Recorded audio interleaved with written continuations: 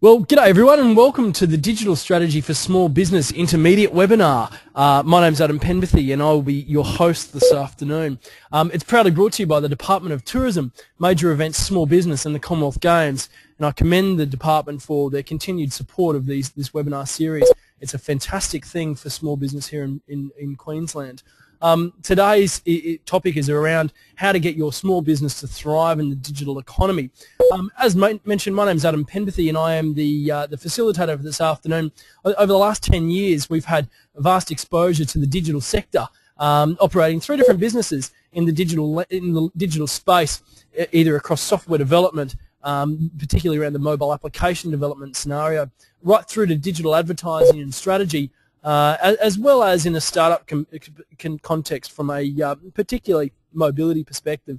Um, about 60% of our business now is working with small business, small to medium businesses and helping them undertake that digital transformation journey. Uh, so that's largely kind of the work, I guess, that we're, we're, we're involved in. Um, so what we're going to cover off today, we've got a lot to cover off, so I'm going to go through this reasonably quickly, but we'll be covering off a little bit about, firstly, what is a digital strategy? And, you know, most people actually think a digital strategy is something completely different to what it actually is. So first up, we'll, we'll cover off what is a digital strategy. The second part there is we'll, we'll start talking about some of the key trends that you should be thinking about as a small business uh, and some of the solutions that, um, that exist to you and your business um, as to how you can engage and be engaged in the digital landscape. Um, and, and, then the final thing there is we'll look at the auditing process and we'll, we'll look at um, how you can map out the process you need to go through to map out your business, where your business is currently at, and obviously the an action list that exists beyond that. Um, now, ladies and gents, towards the end of the session, we'll actually have a, an opportunity for you to ask questions. So if you can hold over any questions until the end of the session, that'd be absolutely fantastic. So First up, what does a digital strategy actually look like? And you could ask 10 different people and can get 10 different answers about what a digital strategy actually is. You know, so many people get confused with the concept of social media strategy or web strategy or online strategy and getting these elements or these ideas, if you like, confused with a digital strategy. And many think because they've got a Facebook page or they give their staff an iPad or they use computers as part of their day-to-day -day work, an operation. They've in fact got a digital strategy, but you know the reality is that this is only just part of what a digital strategy, not the digital strategy. If we look at what a definition is of, of a digital strategy, a digital strategy provides direction on how the business can maximize the benefits of, of, digital initiatives in line with the business's vision, goals, and opportunities. And if you like, it's almost a, um, a, a, direct extension of the, of the business plan, if you like it, in many ways. And if, if you follow my mouse around on the screen for a moment here, you'll see um, the various sectors. So this is a traditional business plan. So you've got the vision, mission, goals, values, and then subsectors, finance, staff, marketing, operations, and, and customers. Um, within here, each of the different elements, if you like, of a business plan could contain various digital initiatives. Um, and, if we take, for instance, just the finance element of a digital plan, you know, the opportunities to get digital, so to speak, is endless. Um, you know, digital strategy could be everything from uh, from a finance perspective, considering moving from a traditional accounting-based solution, think solutions like MYOB or QuickBooks, across to cloud-based solutions like uh, Xero or FreshBooks, and we'll talk about a few of these a little bit later on. Or it might be, um, you know, considering taking mobile payments or e-commerce integration. Um, you know, it really there's a whole heap of different things that could apply apply to a, a finance perspective of a business plan to help it become more digital. The digital strategy helps take often these quite disjointed elements and brings everything together as to one uh, cohesive strategy. Um, so that, that's what we're kind of, I guess, looking at today in many ways. So I guess with that in mind, let's start our first poll, if that's all right, this afternoon, ladies and gents. I'm going to quickly launch it right now. The, the question is, do you have a digital strategy? Um, now, I've popped this up, and hopefully you see the poll in the bottom right-hand corner. Uh, if I can get everyone to keep start voting, most of you have voted. Wow, some really in interesting statistics. 71% have said no, 29%, 28% have said yes, with um, nearly all of you now voting. So so far, most of the most of the the people listening today have uh, would would believe that they haven't got a digital strategy in play. Um, I'm just going to quickly close the poll off there. I think everyone's now voted. Um, the final figures, quite interesting. 76% have said no, that they haven't got a digital strategy, against 24% that have said yes, that they have got a digital strategy. So very interesting. And you know, really, when we look at this from a um, from a national perspective, you know, if we if we look at this figure here, there's some really interesting statistics, and I encourage you to um, maybe at a later point Google the uh, Deloitte Connected Small Business study that was done earlier this year. Deloitte did this fantastic report on uh, on the le level of digital engagement by business, particularly small business uh, in Australia. And if we work from the bottom up, these are some of the findings that they've they've achieved. 35% of small businesses have a very low or non-existent, uh, do not do not use the internet at all uh, from a digital perspective. 24% of small businesses uh, have very low digital engagement, 25% have medium digital engagement, and only 16% of small businesses are making the most of the web with high digital engagement. You know, there's some really interesting statistics in there. Um, if we look at that, I would say 80, 84% of the small business population in Australia have kind of a, a medium to, to low um, use of, of digital uh, and, and digital tools and so forth within their business, a low low engagement level. Now, really, I think you know more than anything, this does provide us with an opportunity as a nation to grow and to uh, and, and to be more active, if you like, from a digital perspective. And so we'll go to another quick poll, if that's all right, ladies and gents. And the second question here is, how engaged is your business? I'm just going to quickly launch this. So how engaged is your business in the digital economy? So the same thing again. If I can get you to uh, to quickly put where you think your business is currently at. Uh, it might be either very low, low, medium, or high. Um, and again, some very interesting figures coming in. 17% um, say very low, which is going up and down a little bit. 37% uh, low, 38% medium, and 10% high.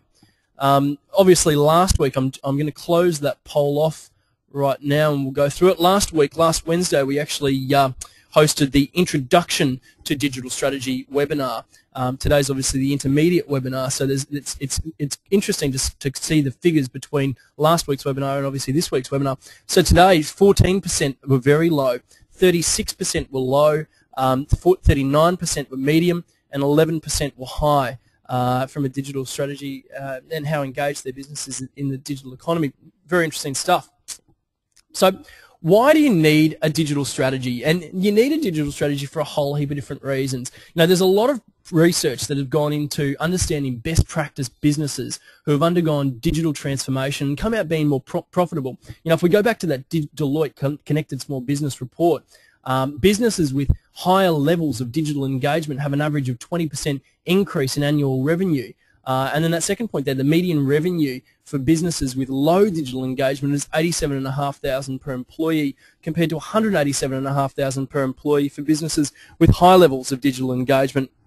I think you know when you look at these types of figures and this information, it's it's really um, it, it, puts a, in a good light the reasons why we should be looking at, at in creating a digital strategy and, and moving businesses from traditional forms of communications and, and, and processes to digitally focused businesses, if you like. Um, you know, I think beyond anything, digital and technology can have a ripple effect throughout your business, uh, and in terms of creating efficiencies. And um, uh, you know, a great example of a business which has undergone this digital transformation and come out the other side with increased efficiencies is a, a business based here in Brisbane called Prowler Proof, um, which make uh, manufacture uh, security windows uh, and doors and, and so forth. And um, they export overseas as well as across Australia through to a supplier network. And they've actually, their, their BDMs, their business development managers, are now three times more productive than they were without uh, using technology in the business. Um, and it's been through an online ordering system where their, their clients can now order directly with the business as opposed to having to have to fax in and email in or, or scan in orders or call up one of the account managers or business development managers to, uh, to place an order. So what what they've found is that they've they've found that they've moved their their BDMs from being order takers to being true business development managers out there in public, in connect, connecting with more businesses, finding more clients, and so forth. And it's been a very interesting transformation for them them internally, uh, pushing the the ordering process back to the customer. Um, so let's look at what makes up a digital strategy, and it's much more than an IT policy or uh, an online strategy or web strategy. It's much more than just these individual elements, if you like. You uh, know, digital strategy from our perspective is made up of nine core elements. And we'll talk through each one of those in detail now. The first one's online presence. So online presence is what your customers see and hear about and read about your business online. So it might be like your website, your Facebook page, your mobile website, LinkedIn profiles and so forth. It's the, the things that the customer can interact with, if you like, online. The second point there, digital marketing, and I mean digital marketing is a bit of a no-brainer. I'm sure you you understand what digital marketing is. Digital marketing is, is the promotion of your business online. So it's using things like Google AdWords or banner ads or microsites or mobile applications and the and so forth to uh, to promote your business online. Um, and then the third point there, selling online. Selling on selling goods and services uh, online has become more and more mainstream here in Australia and as well offshore as well, um, whereby customer people can obviously create an e-commerce based solution, integrate it into their website, uh, and encourage customers to, to tr perform the transaction, if you like, via the website as opposed to traditional forms of buying that particular good or service. Um, oh, excuse me, everyone. I've just slipped through the slides here a little bit. Um, the next element in, in from a digital strategy perspective is the concept of customer interaction.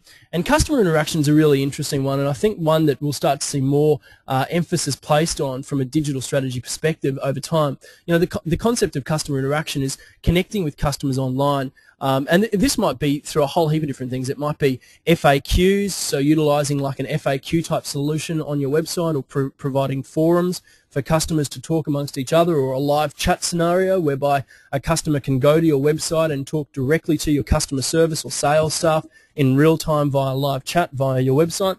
Um, or you might do the Telstra model and you might look at moving some of your um, your customer service across to solutions like Facebook or uh, or Twitter, whereby customers can ask a question of customer service, of customer support, um, directly into these social channels.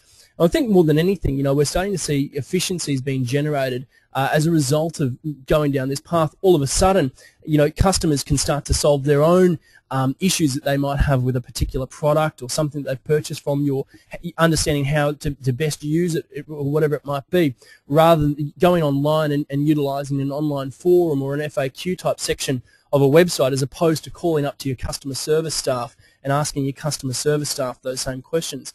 The next point there, online security. And online security, again, is a, bit of a, um, a broad brush in many ways, and it, and it, means a whole heap of different things to a whole heap of different people. But online security largely is, is, is data backups, whether it be on-site or off-site, as well as policies. And it might be policies, and we'll talk about this a little bit later on today, but policies around the use of your own device. So, for instance, if staff are bringing their own mobile phone or their own laptop and utilizing their own mobile phone and laptop at work, um, having creating policies around the best practice and use for that, as well as policies around the use of company information and data and so forth. And then the, the next point there, the, the fourth last one, is supplier interaction. And supplier interaction is quite an interesting one as well. And we're starting to see a progression towards businesses using cloud-based accounting software and uh, enterprise resource management software, ERPs, um, it, within their business. And there's a lot of benefits that can come from utilizing these new digital tools uh, from a supplier interaction perspective. It might be that um, stock is automatically reordered uh, based on past sales history and past sales flows um, and demands over the last you know, 3, 6, 12 or, or even, you know, that time the year before or the year before that, those types of solutions. Um, as well as capturing feedback from customers, so the end user of a particular product, and passing that back to suppliers as well. The, uh, the third last one, then mobile-based solutions. And again, there's a whole heap of different opportunities that come from the use of mobility within businesses. Um, and, and, it might be that a business might consider creating a custom mobile application available publicly via iTunes or Google and Android, um, Google Play for Android uh, or the Windows market and so forth. Um, or it might be creating a mobile website even, or it might even just be creating a, a, custom mobile application that sits within the business and it's used by internal sales staff uh, and not publicly available via one of the app stores. And we'll talk about mobile mobility a little bit later on this afternoon as well. Um, the second last point, there are efficiencies through technology, and, and, efficiencies. I think this is actually one of the key things, and we'll, I'll, I will talk a lot about efficiencies today. But you know, one of the things that technology does bring is it, it can uh, create certain levels of efficiencies within a, business. It might be utilising a custom mobile application to replace internal mundane business process processes or you know using automated marketing solutions to better communicate and connect with customers giving them information that they need when they need it uh, on demand and so forth. And then that last point there, and we will talk about cloud actually, we'll talk about cloud just shortly, cloud computing, and that could either be uh, as, from a software as a service type solution where you, you pay for the use of a software package um, and, and use it via the internet, or it might be infrastructure as a service where you're physically connecting to a remote server as opposed to connecting to a server um, in real time uh, via the, the um, in the office as such. So what are some of the things that you should keep on the horizon? There's a whole heap of elements, and we'll talk through, um, based on di the digital strategy and, and, the nine elements that I referred to before, we'll talk through a couple of the key um, areas, if you like, within digital strategy um, and, and, we'll talk in a little bit more specific detail about it. So let's quickly start off with cloud computing. Cloud computing is a really interesting one. You know, cloud computing can be one of two things, or actually three things, but we'll, we'll cover two of them this afternoon. It could be infrastructure as a service or software as a service. Infrastructure as, as a service is, is quite an interesting concept. What it is, is it's um, the, the conversion or the removal of uh, physical uh, server infrastructure and infrastructure in your actual office itself. You might have a server currently in a cupboard or in a cabinet in your office and removing that and placing that or uh, in a, in a cloud or in, in, via the internet. So rather than your staff connecting to a server locally, you connect to the server via the internet.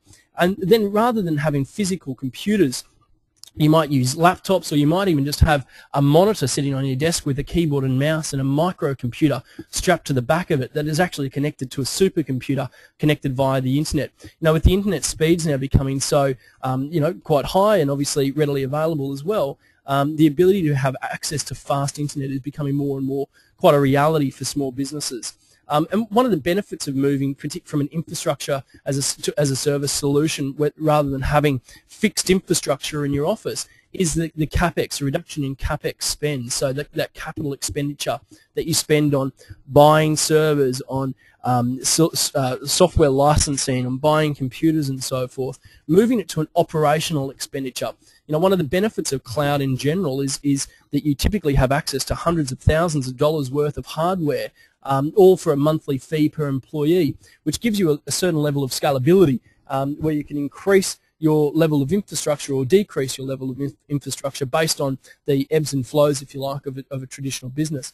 And then the other side of cloud computing is the concept of service, software as a service, and this is probably one that you would have heard of uh, maybe a little bit more more readily. And it's things like utilizing a software program via the internet rather than having that physical software physically installed in the machine. Um, you know, it, all the data in this type of scenario sits in a virtual online server, uh, again, not locally on the machine, which mitigates the risk of lost data if the computer's stolen or the computer dies or the server dies, those types of scenarios. Um, and, and to, in this scenario, the data is access then across various machines as well. So rather than having, if you have two computers, one at home, one at work, you can access that same piece of software via the internet, via either computer. And you, you might have heard of some, some kind of core um, cloud-based software as a service solutions, things like Salesforce or Xero. Uh, you know, they're, they're, quite prominent um, cloud-based solutions that are, that are currently on offer to businesses. Um, but like everything in, you know, in, in technology, there's, there's pros and, and, and it falls and against and benefits and weaknesses of all these different types of environments. You know, some of the benefits of, of cloud computing is that it's 99% safe and there's typically uptime guarantees that the service provider provides you as a client. Um, and as I said before, you know, from an infrastructure perspective, you typically get hundreds of thousands of dollars worth of infrastructure, in some cases millions of dollars worth of infrastructure and software and security processes all from monthly fee per employee or per user that's using it.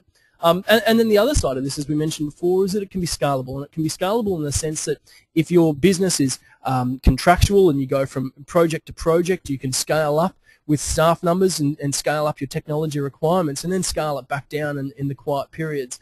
Um, so you're not having to have to have uh, these large or could potentially large overheads uh, and costs constantly. And then that last point there is quite important. You know, in many of these instances, the software, the services provided are remote. They're not currently, they're not constantly in your office. So you, you don't actually have to have someone physically there to maintain the solution and so forth. Uh, but beyond all this, again, you know, like everything, there's weaknesses as well. So it doesn't work for all business types. You know, or some business models um, may not actually work well in a cloud-based environment. In some cases, you lose direct control of the infrastructure as well, and if you've got an internal IT team, sometimes that can be the concern from them. They, they don't have that physical direct control over the infrastructure. Um, the third point there, try to ensure that your data stays in Australia and not in an offshore facility. You know, there's plenty of um, different types of services and solutions out there. You know, you might want to consider utilizing a solution and a service where it is local as opposed to having your data sitting in an offshore facility. Um, and then make sure your cloud solution that you're actually getting is the right fit for your business. And this is a really important one. You know, cloud has become a marketing buzzword, and, and you could refer to cloud in a whole heap of different ways. Um, make sure the service that you're getting, the cloud solution that you're getting, is the right one for your business. It's a really important point.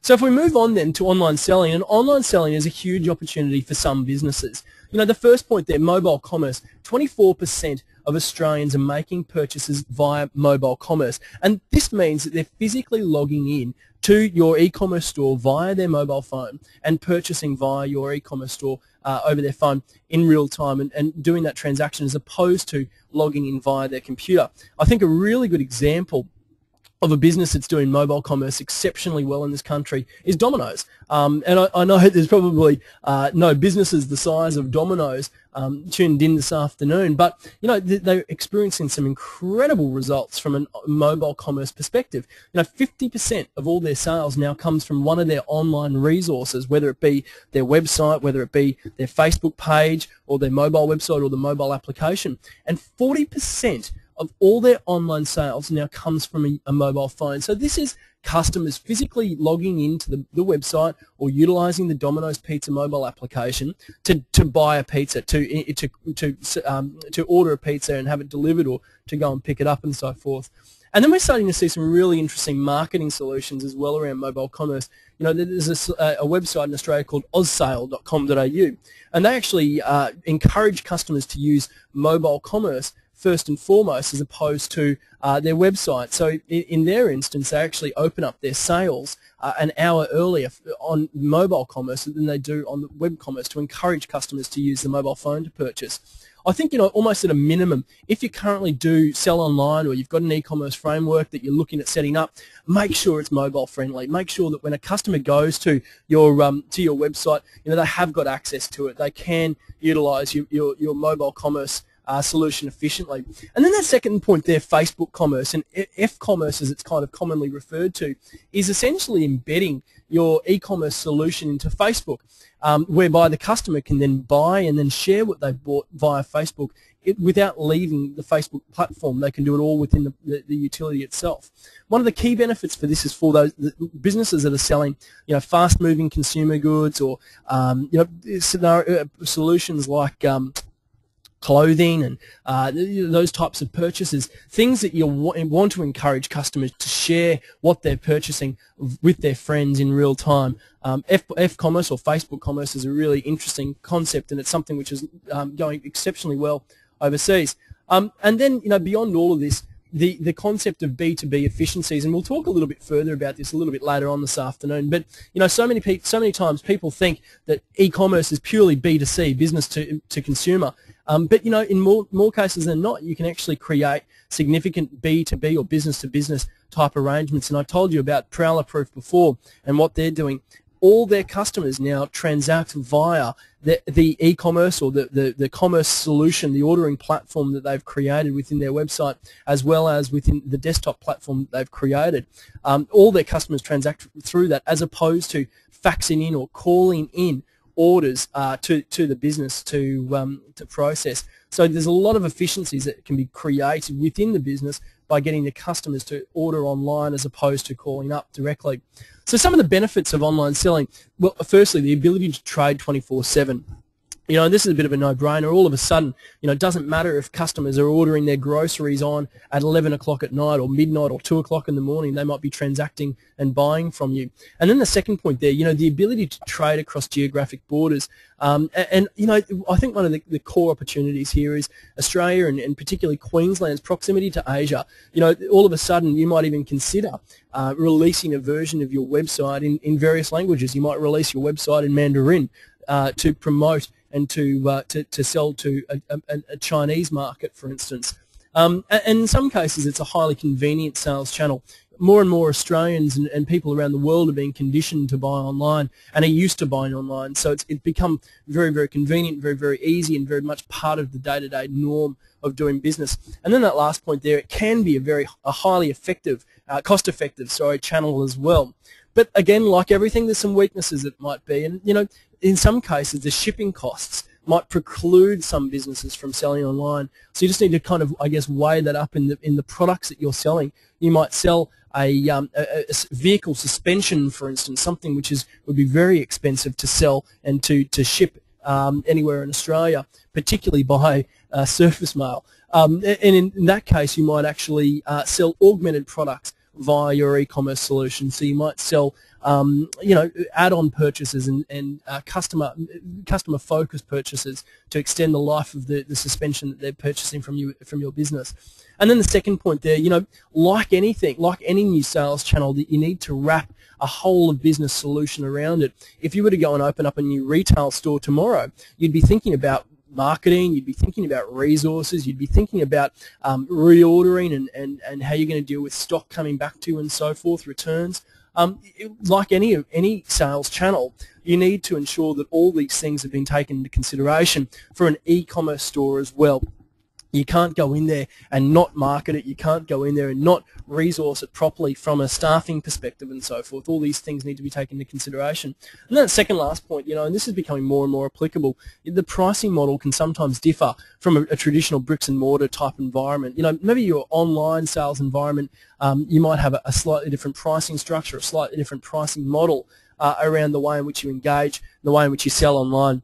Um, and then that last point there, dealing with returns and client issues and so forth, like any channel, whether it be a retail store, whether it be a wholesale store, or, or you know whatever, uh, you need to have a, a, process and a mechanism in place to be able to deal with returns and client issues and so forth. So let's quickly go to our third poll this afternoon, ladies and gents. Um, and I'm just going to open this one up quickly right now. Um, this is actually a two-point, two-part poll. The first part of the question is, are you currently selling online?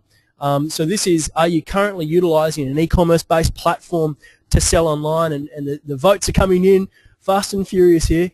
Predominantly, what is it, 73, 74% have said no, 27% have said yes, 26% have said yes. Um, I'm going to pull this up just quickly right now. Um, most have voted and let's close that off just quickly now. So that was quite interesting. 70% said no, they don't have an e-commerce platform, uh, and 30% said yes, they do. So the second part of this is for those that just answered no. You know, if you're not selling online, could you potentially? Okay, and you've got three answers there, yes, no, or unsure. So quite a few unsures in there. Predominantly yeses though, 48, 47% yeses. 50% yes, 51% yes. I'll just give it a couple more seconds to capture all the votes. And let's close that one off now, if that's all right, ladies and gents. So that was really interesting. So of the people that said no, they're not currently selling online, 53% said yes, they could possibly sell online, 20% said no, and 27% said unsure. So happy to talk to those that are unsure a little bit later on, maybe through the question and answer section and we can uh, we can talk about um, you know ways in which you might be able to utilize an online selling based framework as such. Let's progress on, ladies and gents. So the, the next section that I wanted to talk about is digital marketing. And digital marketing, as, as the name kind of suggests, is, is, um, is pr the promotion of your business online, as we talked about before. One of the things which just constantly astonishes me is that businesses don't have a CRM, a customer relationship management tool. Um, you know, more often than not, you'll speak to a business owner or a business manager, and their, their CRM, their customer relationship data, is their accounting software or an Excel spreadsheet. Um, you know, one of the benefits of a CRM is it allows your sales staff and, and your internal management team to be able to capture customer information and then share that information with all the, the rest of the staff in real time via a CRM tool. Um, and more and more these CRM tools, like for instance Salesforce or Highrise HQ, provide mobile versions of the CRM, which means that you could download the mobile application onto your mobile phone, and your sales staff could could move around capturing customer information on their iPhone or their iPad or their Android phone, um, rather than keeping handwritten customer cards in the boot of their car. Um, you know, so they could move to an iPad-based solution. Um, you know, CRM is, is, really an underutilized resource uh, here in this country and, and, and, across the world, and something that should really be considered a little bit further. Um, the second point, they're investigating remarketing solutions, and I won't go into the specifics of remarketing this afternoon. I'll talk quite broadly about it, but would encourage you to quickly jot it down and, and do some Google searches a little bit later on about marketing automation and re remarketing. It really is a huge buzzword. What it allows you to do is create cookie-cutter campaigns that take a prospect from uh, through a predefined series of emails and communications which is altered based on what they're selecting and clicking on in the email and on your website. So for instance, you might a customer might inquire via your website or they might download a free white paper or um, a free handbook on how to use a particular product that you sell. And then what you might do is you might have a series of trigger-based emails that go out over the next three or six months or two weeks, whatever it is, um, that walks that customer from uh, the initial engagement to, to being a nurtured lead to then prioritizing the lead and then hopefully getting them into a sales type environment. And then, you know, through digital marketing, there's a whole heap of opportunities that come from it. Everything from Google AdWords, and we won't go into the specifics of Google AdWords this afternoon, but Google AdWords, social media advertising like Facebook ads and the like, um, creating and sending email newsletters and email marketing, uh, you know, these are all elements that make up uh, digital marketing. And, but one of the things that you really need to consider from a digital marketing perspective is the ability to be able to understand how your customers are getting to your site. What are they typing in Google or what are they typing in Yahoo to get to your website? I think you know this is one of the things that really business owners and, and marketing people need to think about is what is a customer doing and how are they getting to our website? And then almost re-engineering that process to ensure that your website and your, your ads are at each of the different touch points all the way along.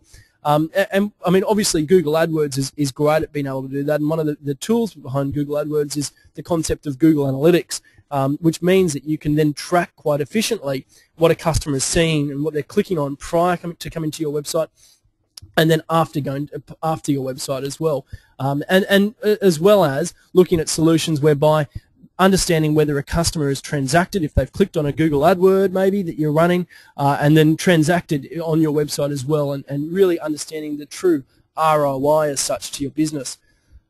So some of the benefits of digital marketing. You can segment the demographic really, really well to ensure that the cut-through is achieved to a very, very specific group of people. I think you know one of the things with digital marketing is the ability to be able to run highly targeted and highly segmented campaigns um, to communicate with with very very specific and niche customers in many many ways. Um, you know, through Google AdWords, for instance, you can target very very specific search terms. So anyone that's typing in a, a specific search that's relevant to your business may come across one of your ads. Um, and the second point there, you know, in some ways it can be a very highly cost-effective channel um, and can generate quite a strong return on investment as well if done correctly. Um, and then that last point there, the ability to be able to test and measure is really, really uh, positive and, and, and there's huge opportunities there. You can run two separate ads on Google, for instance, or on Facebook advertising or LinkedIn advertising. You can run two of the same ads in different written in different ways side by side simultaneously and see which ad has a better return on investment, which ad uh, is encouraging more customers to go through to the website. But again, like everything, you know, there's weaknesses associated with um, with online selling as well. You know, sometimes the shipping costs can preclude. Um, uh, sorry, I've clicked through the wrong slide. I'm sorry. Um, there's there's uh, some of the weaknesses for digital marketing. Often it's very niche, you know, and, and mass media is uh, is is something that digital marketing uh, isn't really applicable for, if you like, you know, the ability to be able to go and connect and communicate your message with a whole heap of people in real time um, it isn't something that you can do efficiently via digital marketing and have a good return on investment. You know, quite often it's reliant on human resources and time as opposed to money, which is traditional advertising, traditional marketing would kind of rely on. You know, you can go and spend $200,000 on an outdoor billboard campaign and, uh, and broadcast your message to millions and hundreds of thousands of people uh, online, you probably won't spend $200,000, but you can get specific, very, very specific and niche cut through to very, very specific people who have a, a high propensity to, to buy from you. And then that last point there, you know, the digital space is, is quite cluttered and also quite messy in the sense that, you know, everyone is just one click away from your website or one click away from leaving your website as well in many instances. So that kind of brings us to the next point as well, which is bring your own device. And this kind of comes back to more of a security perspective. Um, I, am not sure if anyone's using uh, BYOD, but the concept of bring your own device is, is rapidly gaining momentum whereby staff use their personal smartphones and laptops as part of their day-to-day work and for, for your job. Um, as a, so they're actually using their smartphones and actually using their laptops for work, at work as such.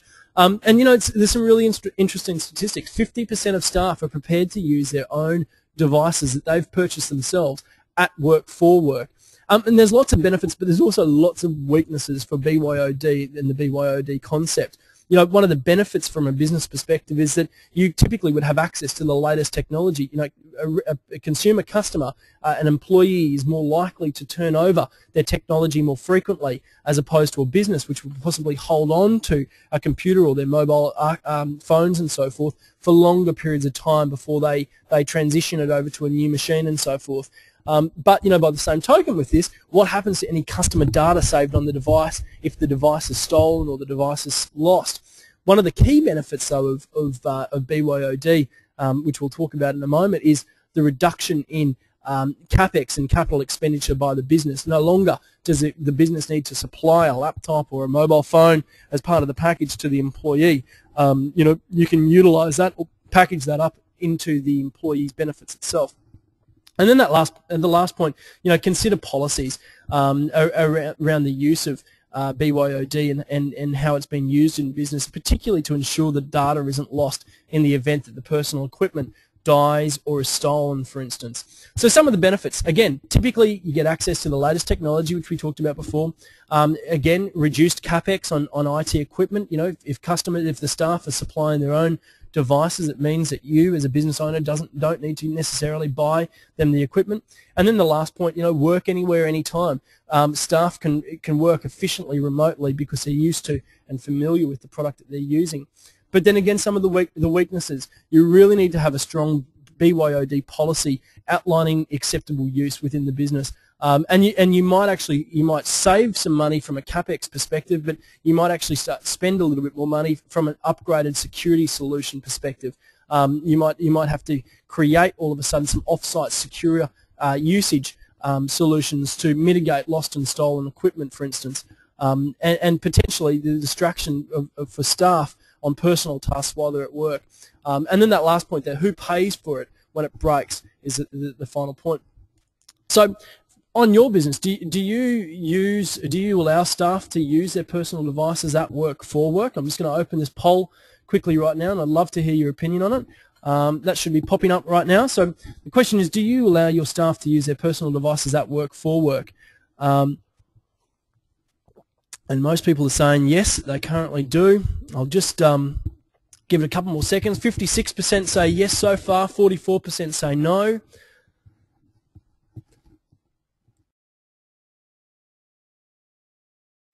And I'm just going to close this one off now quickly, guys.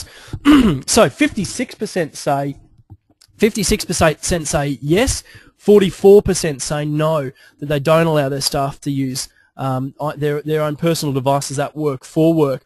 And then the second part of this question is, if yes, do you have a, a policy around the use of their own, their own devices at work? Uh, the questions, the responses again is yes, no, and unsure. Um, and to be expected. The majority so far have said no. I'll give you a couple more seconds. A couple of people saying not sure. Um, maybe two or three more seconds. And let's pull that up quickly right now. So 68% said no, they don't have a policy around the use of, of equipment at work against 25% that say said yes, that they do have a policy around the use of personal equipment at work. Um, you know, certainly for those that haven't, uh, that do allow their staff to bring and use their own devices at work for work, um, it, it, really is something that you should consider creating policies around best use and, and how to efficiently and effectively use their devices at work. uh, to ensure that particularly data isn't lost in the event of a crisis or event of stolen equipment or lost equipment. So let's move on. And we talked earlier on about uh, cloud infrastructure and, and broadly about, about cloud software. But I thought I'd talk a little bit more succinctly about cloud software particularly. Um, you know, cloud cloud software comes in a whole heap of shapes and sizes, um, and there's a whole heap of different platforms to do a whole heap of different things. So, for instance, you can use cloud applications like Podio or Basecamp, among others, for project management. You can use tools like Harvest for time tracking. You can use tools like Salesforce or Highrise HQ for CRM, customer relationship management. You could use tools like Dropbox or Box.net for file sharing, and you might use Xero or FreshBooks uh, and many more for accounting uh, and so forth. And, and the list kind of goes on. There's literally hundreds of thousands of cloud applications that serve all sorts of purposes and so forth. But one of the benefits of, of looking at cloud solutions is typically what they what the provider, what the software provider offers the user is the ability to be able to use the API. And the API stands for Application Programming Interface. And what it basically means is it means that when you subscribe to, say, for instance, Salesforce, or you subscribe to Xero for an account as an accounting solution, you have access to the development tools and the development portals, which means that your web developers might be able to create custom solutions that interface with these, these third-party cloud applications and cloud tools um, and, and can create them in different ways to benefit your business. So for instance, on your website, you might have data automatically being captured, um, uh, so client inquiries or prospect inquiries via the website being automatically captured and then shared directly to your CRM for future follow-up and so forth. But one of the other benefits of all of this is with all these data points that would be coming in through these the, the APIs that are available and, and, and uh, applicable to these various tools, is you can start to create some really interesting data visualizations. So the, the point might be that your staff might be using, um, say for instance, a uh, cloud-based accounting solution and they might be outbound and, and seeing customers creating estimates using Xero on their iPad. Um, as a business owner, you might create an internal dashboard that shows you the value of each of those estimates so you can get a really clear understanding as to what your pipeline value might be over the next two, three, six weeks um, or six months even, you know, potentially depending on how long your sales cycles are. And then, you know, th that same kind of point ties directly into cloud-based solutions. And there's a whole heap of different cloud-based solutions on the market for businesses. But one of the one of the benefits of cloud-based solutions is it, it allows you to connect directly with your bank account for automatic bank reconciliation. So half your reconciliation can actually be done um, before you even log into your accounting software, which is quite positive. Another one of the benefits of, of these types of solutions, as I alluded to just before, is that you can actually create invoices and track expenses via your mobile phone and, and, and tablets and so forth. So you can download the product directly onto your iPhone, for instance, or your Android phone, and utilize your, your iPhone or Android phone to be able to create invoices on the run uh, and track expenses and so forth. Um, and there's some really cool advantages here for, for various businesses. Say, for instance, you run a team of electrical contractors and whereby it, it, potentially the solution might be where you, you give the staff, your electric your electricians, a mobile phone, or they use their own mobile phone, their iPhone or Android phone, and whilst they're out in the field speaking with with customers and doing service calls and so forth, they can create estimates or cre create invoices directly into your accounting software rather than calling up to back to the office and getting the admin person to be able to type in uh, into a core accounting software and so forth. You can automate those processes and create efficiencies in your business um, through the use of uh, these types of tools as such.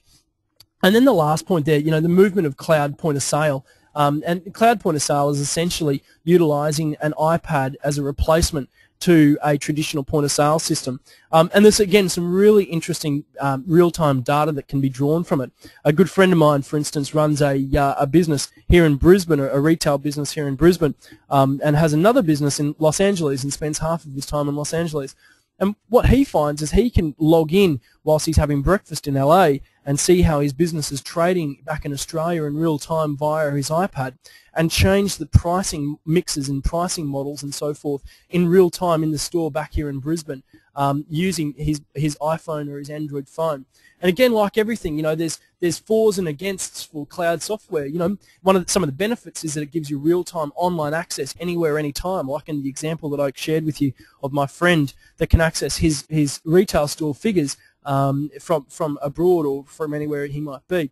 Um, in some cases, it's quite affordable as well. One of the benefits of cloud solutions is you're not physically buying the software in one lump sum. Most likely, you'll be paying that for that software on a monthly per employee basis, as opposed to uh, buying and purchasing that piece of software in one one large sum as, as such.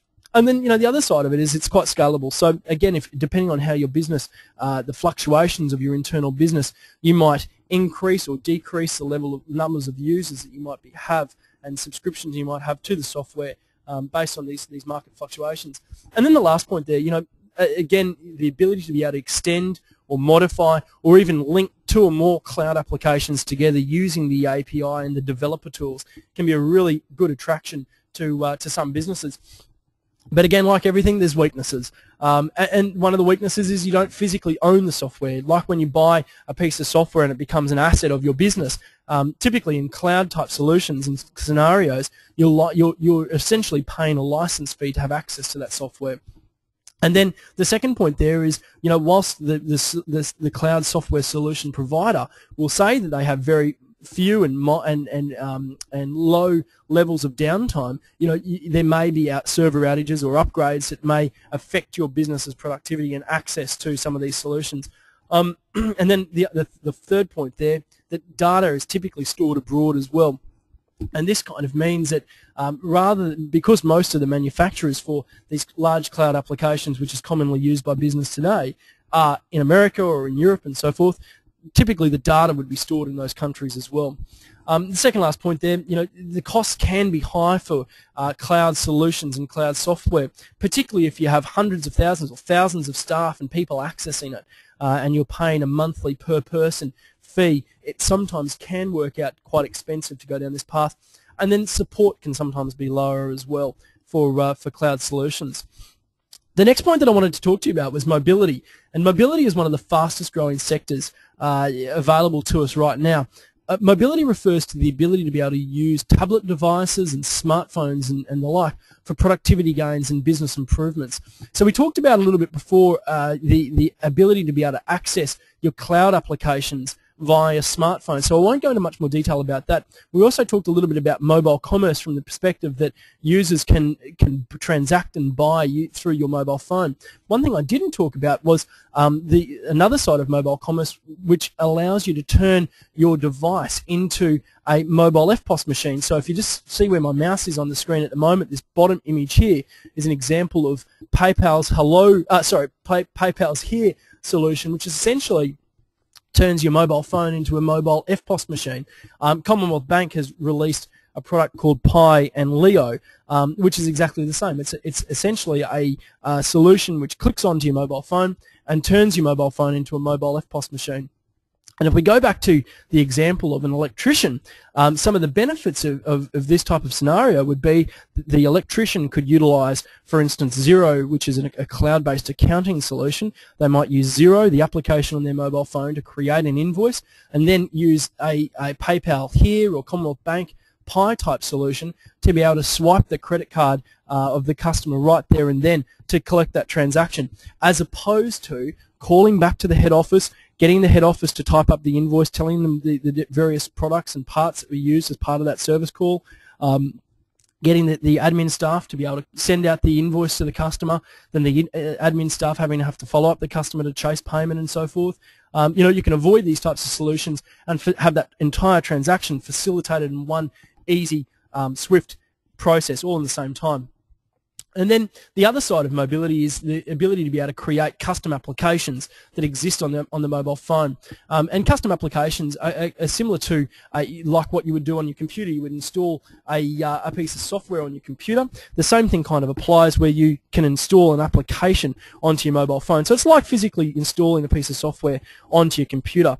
Um, and, and it might be one of two ways. You might create external applications, which are applications which go to the App Store like iTunes or Google Play for Android devices. Um, or you might even consider creating internal applications. And internal applications are applications that only exist on, say, 6 or 10 or 12 iPads or iPhones, which are used by managers um, or, or staff within the business. And the, the internal applications might be business process-based applications. So, for instance, you might have a outbound sales team that currently use duplicate or triplicate paper to collect notes on customers and take orders and, and inquiries and so forth. You might be able to expedite this process by utilizing a custom mobile solution. And there's plenty of good examples of businesses that have created these mobile solutions to really add value to the experience that a customer has with a product. Um, Caroma, the, uh, the the manufacturer, has a, is a really good example of that. They they provide an application for plumbers and uh, DIY home handymen to be able to um, download and see in real time installation instructions for all the different things that they offer, all the different parts and products that they offer and it um, allows them to quickly and easily see you know things that they can the product codes the features and the benefits installation tips and so forth all via a mobile application an iphone an ipad and the like. Um, so some of the benefits and weaknesses of, of mobility you know the benefits it's always on. You've got accessible you've got access to information anywhere anytime um, which is one of the key things with with mobility. Um, you can leverage off the handset's core functionality. So for instance you might use uh, the GPS feature, for instance, within the within the actual handset itself. Uh, and, and you might create a custom application if you had a set of sales staff, and I hope there's no sales staff listening to me today, but um, you might even create a, a, custom application for your sales staff where they can automate some of their processes via the iPad and collect the GPS data to be able to see where your sales staff are at on a actual Google map, for instance, that type of scenario. So you can tell whether you, whether your sales staff are uh, spending too much time in coffee shops or whether they're spending a little bit too much time at one particular customers and, and so forth. Um, and, and, then you know the other, the third point there, the device is typically always with the user. One of the key benefits of uh, of, mobility is that you know, we're most likely to walk around and take our mobile phone wherever we go. And then that last point there, you know, we're almost at market saturation now where most um, most people do have the, have a mobile phone here in Australia, particularly if we look at some place, parts within Asia, and we actually see two to three mobile phones per, per users in some cases. Um, but then again, weaknesses. You know, developing if you're developing or considering developing mobile applications, um, developing mobile applications that exist across a whole heap of different operating systems can sometimes be quite expensive, and uh, and and then again, you know, because the platforms are constantly changing, Apple will release a new product or uh, Android releases an upgrade and so forth. Because that happens quite often, the, uh, the, the the application needs to be updated as well, and uh, uh, with in line with the upgrades of the software. And then that last point there, because the, the, the, physical size of the screen is quite small, there's some things that you can't do efficiently on a, uh, on, an, on, a, on a mobile phone or an iPad, for instance. So let's just run to the end of the of the session now. Um, the the last little bit that I wanted to talk to you about is is the process of auditing your business. And the Department of Tourism, major events, small business, and the Commonwealth Games have created this really great framework for a small business to understand and, and audit their business. It's called the Small Business Digital Readiness Tool. And if you uh, have have downloaded already the uh, the workbook that accompanies today's webinar, um, you'll see it towards the end of the, of the, of the book.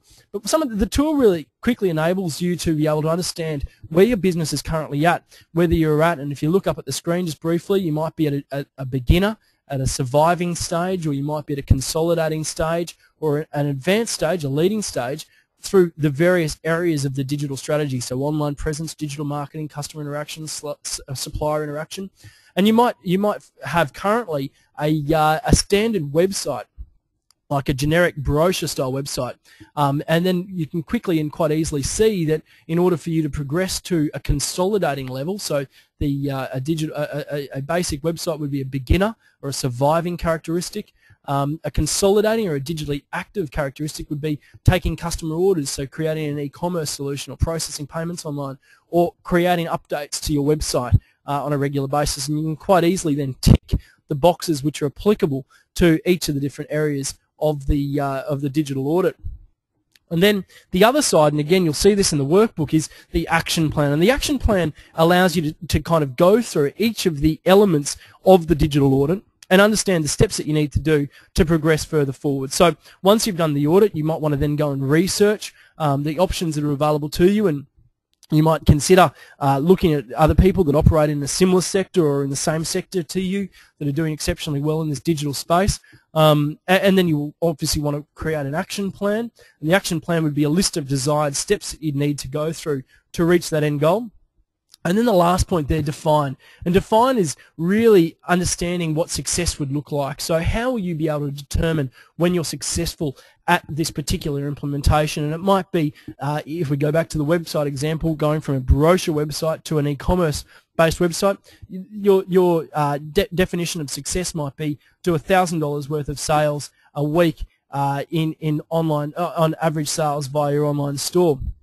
So if we just quickly go through a quick summary of what we've gone through today, digital strategy is more than just social media. It's more than just having a website. It's more than just buying staff iPads you know, a digital strategy is an integral part of your business plan. And, I think if you go back to that initial image um, that we created that shows the various makeup of a business plan and, and look at those different areas and, and opportunities that exist within each of the sub areas of a business plan, um, it, it would be very important, it would be interesting to then go and compare that back to your business plan and look, and look at your business plan and look at each of the areas of your business plan and assess how you can achieve some efficiency gains through the use of technology and software.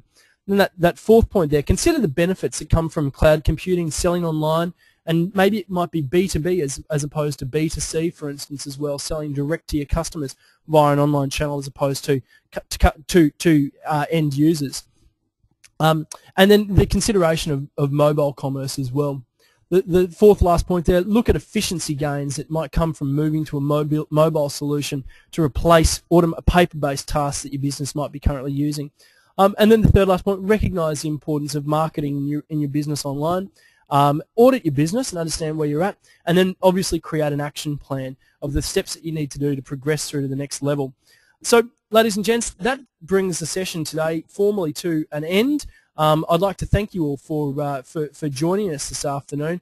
Um, what I what I will do just quickly before we open up the chat uh, and the questions, if you have got questions, feel free to use the uh, the question and answer panel here. We'll get to that in a moment. But I've, if you have a quick look, um, I've popped up in the chat section there a link to SurveyMonkey. Uh, and I'd encourage you, just before you log off this afternoon, if you can quickly duck uh, into SurveyMonkey and, and just quickly rate how you thought today went. Uh, we'd love to hear your opinions. Um, and I'll, I'll quickly open up for any questions. Um, and there's a couple of uh, couple of people that have uh, asked some questions in here. Um, let me scroll down. Um, feel free to ask questions, guys, uh, and I'll, I'll, get through some of this. Um, the chat facility doesn't work for some reason. Okay, so the chat facility is not working. Here we go. Let me put this up in the questions. I've just popped the survey link up there. Um, is there an example of a small business using online selling um, of the domino example cited?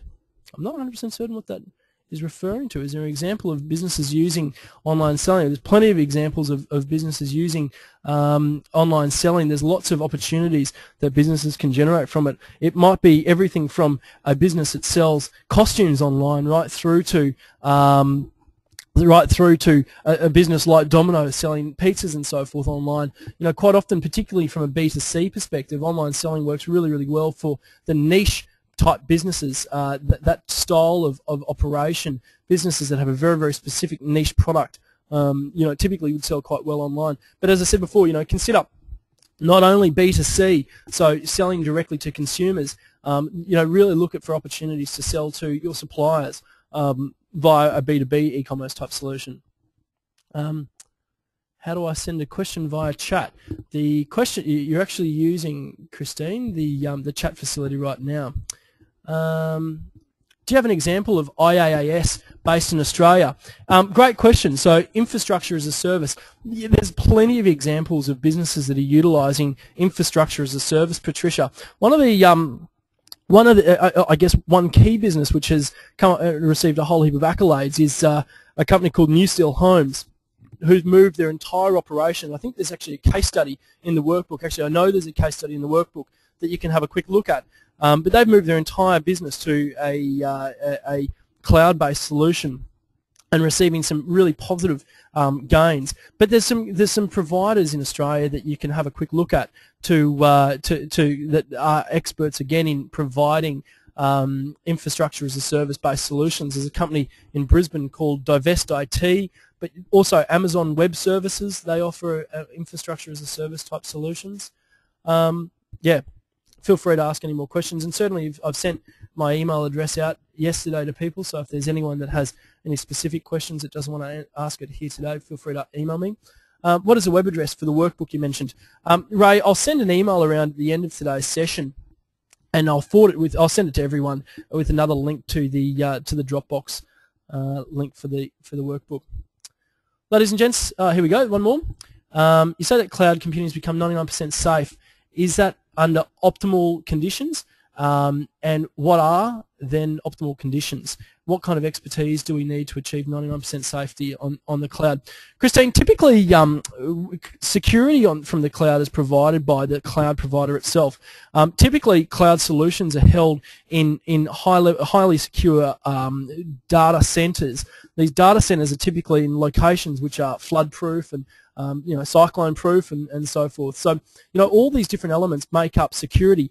Um, it, there's, there's again, like if we, if we go back to um, some of the local providers, and I mentioned before a company called Divest IT, they actually run data, data warehouse tours where you can go and physically be and, and see and experience the data center where your data would be would be um, stored and saved, and you can go through the security processes to physically get to that data. Most of it is is, is kind of almost um, a little bit matrix style in some ways. It's it's fingerprint scan and, and retina scan and so forth to have access to these these facilities. It's quite incredible. Um, I'd encourage you to go and have a quick look at um, you know, again, maybe research a little bit further into the security on the cloud in many ways. Um, what F-commerce platforms are available? Great, great question. F-commerce is um, is essentially is again F-commerce is Facebook commerce. The way in which Facebook works is Facebook works by the provision of um, allowing a developer to, be, developer to be able to create a website within the Facebook tool. So, for instance, a PHP is a, is a language that um, that that web developers would use to create you know web applications and so forth. They can create an, an a PHP-driven e-commerce store within the Facebook parameters. So you don't physically need to go and buy any new software. Your, your web developer that currently manages your e-commerce solution might be able to uh, might be able to create something um, for you and, and embed it within your Facebook page. Um, is there a security concern for having financial information in the cloud? Patricia, yeah, there is. There's always going to be a security concern for storing any information in the cloud, whether it be uh, financial data or, or, you know, just standard business intelligence and so forth. Um, I'd really encourage you to go and have a look at some of the uh, some of the, the major and, and, more significant um, cloud accounting solution providers and you might want to have a quick look at Xero X E R O. I'll pop it up in the uh, in, in, the in the, the questions here just quickly. Oh no, for some reason I'm not able to. Um, but it's xero.com um, or FreshBooks F R E S H B O O K S dot com. Um, you might want to have a quick look at that, and, and, you can see a little bit more information about the security measures that they've got in uh, in their operations.